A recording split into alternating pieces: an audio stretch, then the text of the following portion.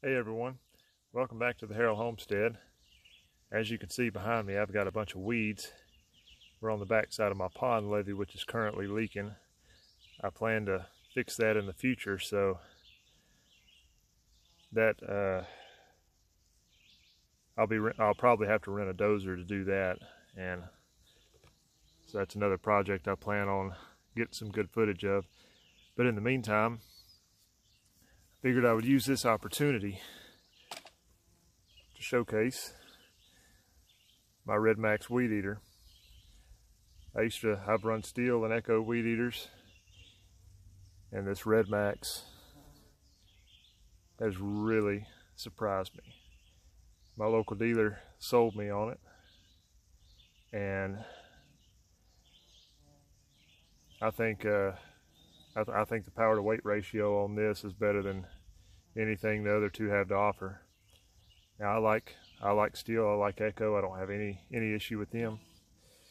But this model, this model Redmax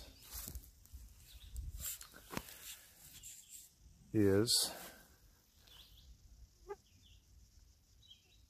a BGZ 260 TS. And if you've got a bunch of if you got a bunch of thick brush and grass that you're wanting to uh, use a brush cutter or weed eater for, I highly recommend this Redmax. But if you look, if you're looking at Redmaxes, look for this sticker on the end right here, or the T in the model number. It stands for, the T is for torque. This, uh, this is the Max Torque model. It has a slightly lower geared head than the regular model does, so it spins the head a little bit slower. Well, or maybe not slower, but the uh, the engine runs at a higher RPM, and so when you get into thick grass, it doesn't bog down near as easily as the regular models do. And this little thing will absolutely get it. It's got a it's just got a 26 cc engine, uh, and it's not, it's not even the biggest engine Redmax makes on their on their trimmers, and I haven't come into a situation where I've even needed a bigger one. Uh, it's, it's, it'll run, and I'm fixing to show you what it'll do. I forgot to mention earlier, this thing starts really well too. It's cold. I hadn't started it all day, and it'll most likely crank in two to three pulls. Never mind.